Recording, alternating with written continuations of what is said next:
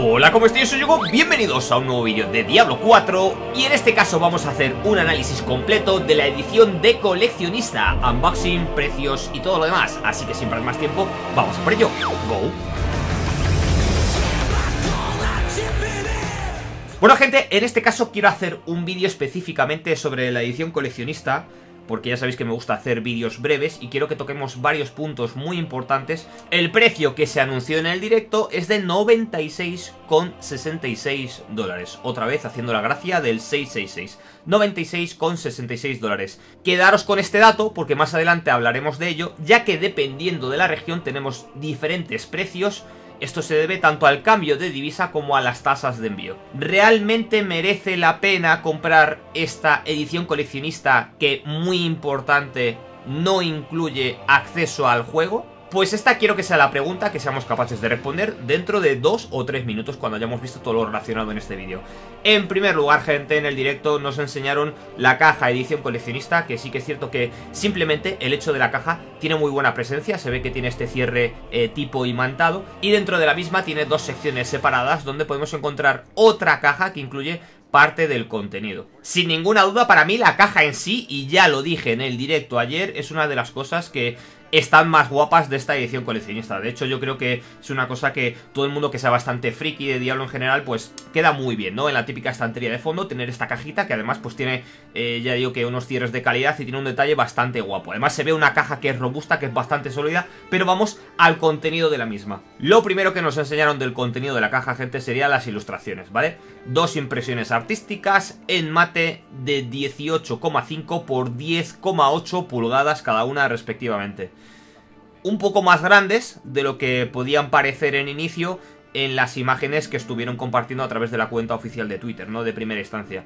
La primera que nos enseñaron en este escenario cargado de demonios y la segunda, digamos que sería una ilustración dividida por un lado con Inarius y por otro lado por Lilith. Si os dais cuenta, eh, se ven que son bastante sólidas, tienen este tipo de marco a modo de soporte para darle más robustez es un buen añadido, pero no creo que sea uno de los motivos principales para comprar la edición coleccionista sin ninguna duda. A continuación tenemos el pin de los Hora Dream, que también viene anclado en un soporte bastante robusto, con ese tipo de dibujo en relieve. Sería otro detalle añadido, tampoco veo que sea una de las piezas fuertes de esta edición coleccionista. Pero bueno, todo suma y que sume porque tiene que dar sentido al precio, ¿no? De, la caja en sí. A continuación vemos el mapa de tela. A mí personalmente este tipo de cosas sí que me gusta más. De hecho lo estuve comentando en el directo que este sería el típico mapa que enmarcaría y lo pondríamos por aquí para darle un poco de ambientación en los directos, ¿no? O sea, sí que es cierto que es un detalle bonito, parece que sería más o menos de un tamaño de A3 y bueno, eh, otro extra, ¿no? Para añadir a nuestra colección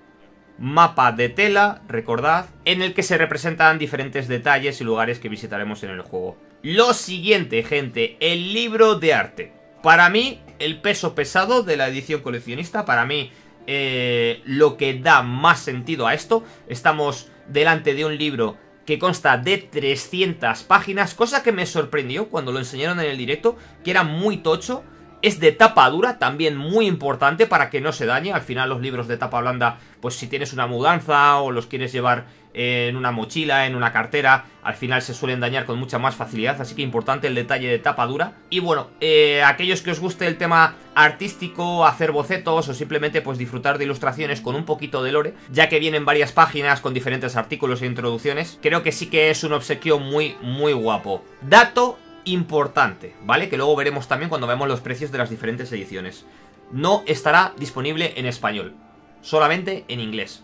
No va a tener mucha letra, pero que sepáis aquellos que estéis pensando en comprar esta edición coleccionista, que no va a estar disponible en español, ¿vale? Por lo que el libro de arte estará en inglés. A continuación, gente, pasamos a la vela. Eh, lo más parecido que tenemos a una figurita, lo más parecido que tenemos a una miniatura dentro de la edición coleccionista, sería yo creo que otro de los pesos pesados. Al principio había bastante dudas sobre si eran una vela o eran dos velas por las imágenes que nos mostraron. Ya nos comentaron que se trataba de una sola vela, así lo pusieron también en la descripción de contenido de la caja y ahora ya no queda ninguna duda, ¿no? En el unboxing del directo. Tenemos por un lado de la vela lo que sería Lilith y justo al reverso por el otro lado tenemos el detalle de Inarius. Cabe mencionar que es una vela LED, ¿vale? Con baterías incluidas, importante, que nos decían en la descripción, que tiene un bonito detalle y tenemos ahí el botón, como podéis ver, dentro de la propia armadura de Inarius, para encender o desactivar el LED. Da la sensación de tener un peso considerable, aunque tampoco creo que pese mucho, porque hubo varios momentos durante el stream donde lo estaba sujetando con una mano, incluso apoyado sobre los dedos sin demasiado problema. Pero para una edición física que no trae ningún tipo de figura, era más que obligatorio incluir algo de este tipo. Además de lo que se vio en el propio stream, si accedemos a la página de la Store de Blizzard, dependiendo de la región donde nos encontremos, tendremos que acceder a la europea o a la americana, podemos encontrar los diferentes elementos de la misma caja de edición coleccionista. El libro de arte, lo que son las ilustraciones artísticas, la vela, el pin de los Oradrim, el mapa de tela, esta segunda caja con el grabado de Lilith que venía dentro de la edición coleccionista, que vimos un poco por encima al principio, Así como la alfombrilla de ratón, que no han enseñado en el directo, pero tampoco creo que fuese necesario, ¿no? Eh, enseñar una alfombrilla, todo el mundo sabemos cómo es. Así que ahí tenéis todos los elementos también si los queréis ver en la página en cualquier momento. Y ya que estamos en la página, importante, porque nos dijeron que el precio sería de 96,66 dólares en el caso de que adquiramos el producto en Estados Unidos. Pero para la gente que somos de España, si nos vamos a la historia europea encontraremos que la caja de coleccionista limitada Diablo 4 tiene un precio de 109,66 euros. Importante cuando nos metamos en la Store, tened cuidado con la edición que accedéis, ya que si os dais cuenta tenemos disponible la estándar que sería en inglés, tenemos una edición en francés y tenemos una edición en alemán, ¿vale? Tenemos estos tres tipos de idiomas disponibles, así que importante que accedamos a la de inglés. Una vez que estamos dentro hay varias cosas que nos llaman la atención, lo primero el precio que ya he dicho, se trata de un pedido anticipado, así que pagaremos y más adelante recibiremos el producto importante porque cantidades limitadas disponibles. Me comentó la gente por el chat del directo que teníamos unas 50.000 copias en stock, por lo tanto tened este detalle en cuenta. Y si seguimos leyendo, nos dice, este es un producto de pedido anticipado y no estará disponible hasta el 30 de junio de 2023, gente.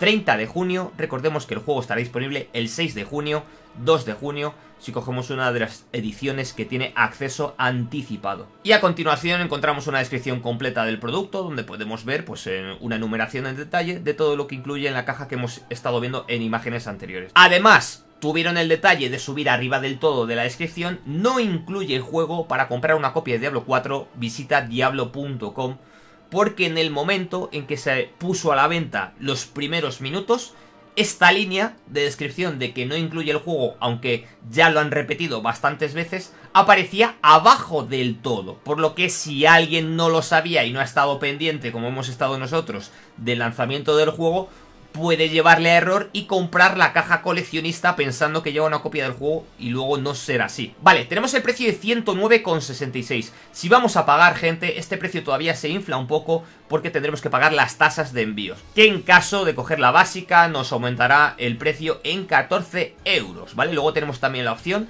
de si queremos eh, pagar una forma de envío express, que serían 30 euros adicionales, ¿vale? Pero con la básica son 14 euros, quedando en total un precio de 123,66 euros, redondeando 124 euros, gente, por una edición coleccionista que incluye lo que hemos visto a lo largo del vídeo y que además sé que no a todo el mundo le importa, pero es un detalle que tener en cuenta y que mencionar, no estará disponible en español, solamente en inglés. Recordemos que el precio de 96,66 ya se había filtrado hace un tiempo y es el que se ha anunciado de forma oficial, pero realmente estaríamos pagando en el caso de España, ¿vale? Comprando desde la página europea con tasas y todo, finalmente un precio de casi 124 euros. En mi caso debo de decir que yo estaba loco por la caja coleccionista, estaba deseando pillarla, incluso aunque costase 96 pavos o costase 100 pavos le iba a pillar. Una de las cosas que me ha hecho echar el freno es que no estará disponible hasta el 30 de junio, que puede ser que nos llegue antes de esta fecha, pero en cualquier caso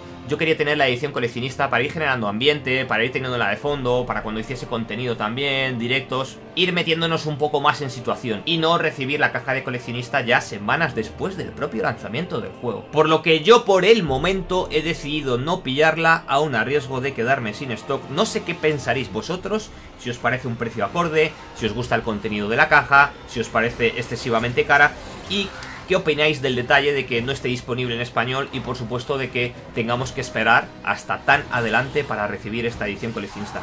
Espero que os haya gustado el vídeo, gente, que os haya sido de utilidad, que os haya ayudado también a decidiros si no teníais nada claro. Si es así, no olvidéis dejar vuestro like suscribiros al canal para no perderos nada relacionado con Diablo 4, que se viene mucho contenido al canal, y por supuesto compartid vuestras opiniones aquí abajo a través de la cajita de comentarios. No olvidéis seguirme en mi Twitter, arroba YugoGames con 3Y, donde voy publicando todas las novedades, así como en mi Twitch, Yugo con 3Y barra baja TV, donde siempre estaremos haciendo charlas relacionadas sobre RPGs, ARPGs, por supuesto cubriendo todo este tipo de eventos importantes, accesos a la beta, así como futuros Dev Stream. Dicho todo esto, me despido, pero tan solo hasta la próxima. Adiós. He vuelto al infierno a por ti.